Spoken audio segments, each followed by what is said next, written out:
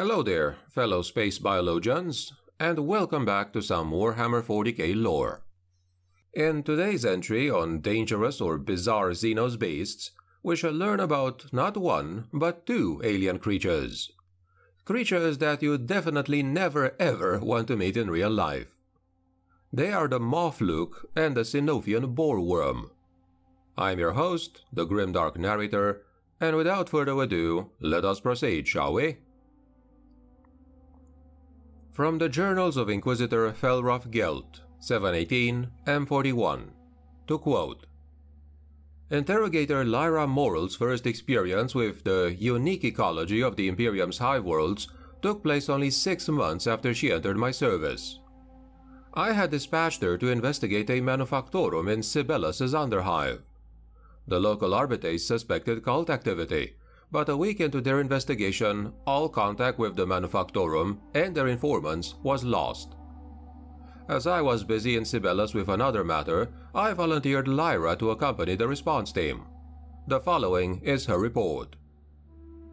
From Interrogator Lyra Morrell, Investigation 26 Aleph 12, Cult Designate Pilgrims of Hate, Smeltery 21B, Hive Sibelius, Scintilla. The arbitrators and I arrived at Smeltery 21B to find the entire complex sealed. I was able to cajole the machine spirit of the Manufactorum's cogitator to open the outer blast doors. Inside, we found Smeltery 21B entirely deserted, with no sign of the 30 workers that should have been on duty.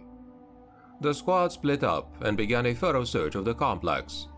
I had just found a number of holes in the rockcrete walls of the main smelting room that looked like someone went berserk with a rock borer, when I heard shouts over the microbead.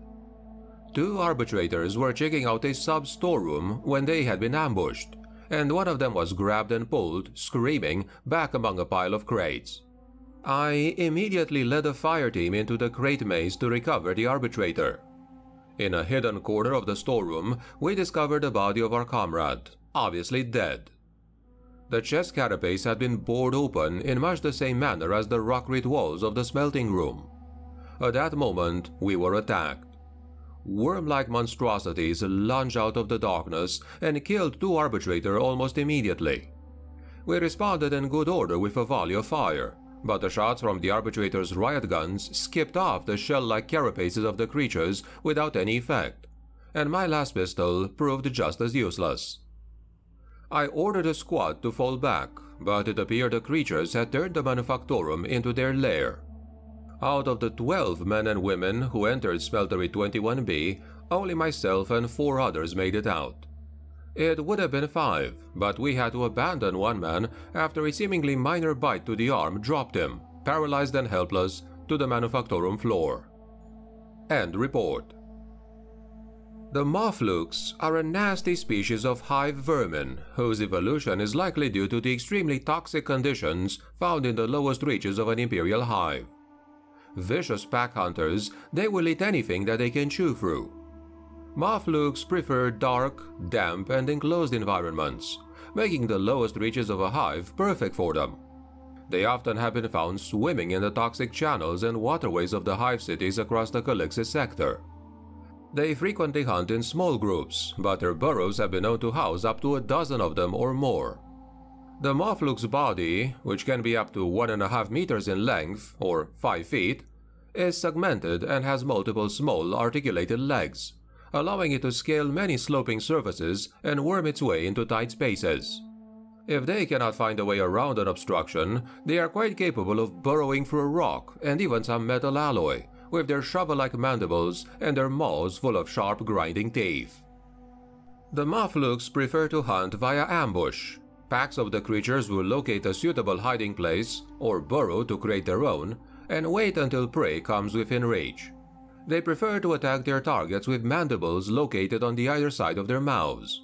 Besides the crushing damage, the mandibles can also inject a powerful paralytic poison. The Mawflukes will then drag the helpless prey back to their burrow to feast undisturbed.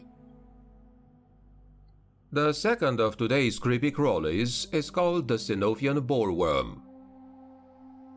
To quote, Inquisitor Gelt, please accept my initial examination for what it actually is, only the most basic of dissections. I will prepare a far more exhaustive data slate at a later date. First, allow me to state that under no condition should a boreworm be handled without first donning some kind of protective glove, or better yet, using a metal instrument to manipulate a living worm. The creatures have gullets ringed with many chewing teeth, and will readily attempt to burrow into any flesh they come into contact with. Once inside the body, a boreworm will burrow slowly, consuming flesh, blood, and viscera freely. As they eat their way in, the segmented body of the worm will break apart over time, with each individual segment quickly maturing into a fully grown and active worm. Thus, a boreworm uses a host as both a larder and a nursery, devouring it alive from the inside out. It is my theory that this practice is to enable the distribution of the worm. An infected host often staggers some distance before finally succumbing to the worm and its progeny, to then fall prey to scavengers, many of which will consume segments of the boreworm in the process, and thus the cycle repeats itself. Most disturbingly, the boreworm has a distinct resemblance to other xenoforms created by the Slaugth, a particularly vile and disgusting breed of alien which plagues our sector. Your loyal servant, Magos Biologis Kaltos Malinte. From the Journals of Inquisitor Felraf Gelt, 124, 754, M41. To quote, One may encounter great threats in the smallest of creatures. Recently, my retinue and I have come across a truly foul Xenos, barely longer than my hand when fully grown. I speak, of course, of the Sinophian boreworm, a simple carrion eater, pressed into a far different service. Normally pale, almost translucent, a feeding boreworm becomes bright red with devoured flesh and blood. This has led them to be considered sacred by the cultists of the blood god and encourage their trade. The cultists of Khorne use them to torture captives, and I have personally witnessed great vats of worms writhing obscenely in a soup of blood and offal. I shall not forget my first encounter with the victims of the boreworm. We were on Malfi, where nigh treacherous descent seems to be a common pastime. Cults thrive there, especially those dedicated to the Skull Lord. One such sanguinary cult has found employ with a minor noble house, ridding them of their undesirables and their political rivals. My entourage and I pursued these heretics deep into the depths of Hive Sarrow, finally cornering them among their torture chambers and slaughter rooms. As the cultists worked themselves up into a battle frenzy, they sent forth their prisoners to buy some time. The wretches had all been given so-called Khorne's Kiss, a euphemism for boreworm infection. Moaning and staggering towards us, with small red worms dropping from any open orifice, the hive dwellers were beyond any help but swift elimination. Commanding my cadre to do their duty bound to the Ordo Malleus and the Emperor, we cut them all down. Even now, a clean death was denied the wretches. From open wounds would spill many boreworms, all engorged and red with consumed blood and flesh. Some burrowed back into the cooling bodies of their hosts, while others made their way to where we stood, and became crushed under our heels. I considered delivering what few cultists we captured alive into the storage vats of the worms, but realized that for the followers of the Blood God, that would be akin to making them one with their god. Instead, we just executed them quickly. End quote. A small, aggressive beast with a voracious and insatiable appetite, the Sinophian boreworm is as dangerous as it is unnerving to look at. Usually a pallet length of bristly segments, boreworms have such semi-transparent flesh as to render their internal organs visible in faint light. The head of the animal is marked by a circle of hooks, designed to dig into exposed flesh, while the gullet is lined with rings of teeth. Able to feed on pretty much any kind of flesh, the boreworm uses those teeth to literally chew its way inside a corpse or living creature. As it feeds, the worm becomes flush with blood, and more than one brave man has felt a rush of horror at seeing the scarlet length of a boreworm, slick in blood and slime, emerge from a body, its hooked anterior questing about for more. When in the wild, boreworms will choose long dead corpses, devouring flesh that is too rotten for bigger scavengers. They will attach themselves to anything desperate enough to grub among the remnants, eating the luckless animal from the inside out afterwards.